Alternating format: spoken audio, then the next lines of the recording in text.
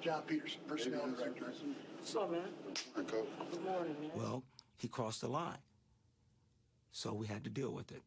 This is very difficult for me as a head coach, my first time. But we have a business. Okay, this is a business, and you're a businessman. We all are, because that's the nature of the beast right now. But uh, when I first talked to you guys on March 22nd, I had a handbook. I covered some items that were very important to me. Line 46 addresses that.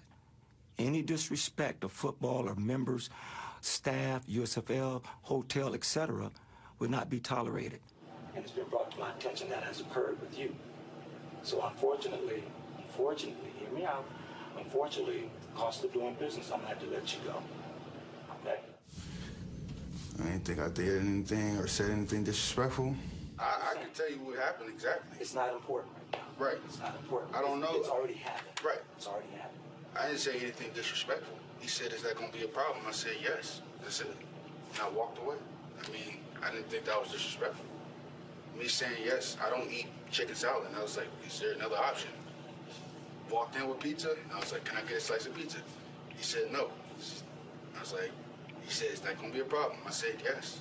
That's all I said. I didn't say no cuss word, nothing. That's all I said. I promise you, no disrespectful on my dad's life. I promise you, I didn't say nothing disrespectful besides yes. And, and I appreciate you sharing that. But the matters, it's done.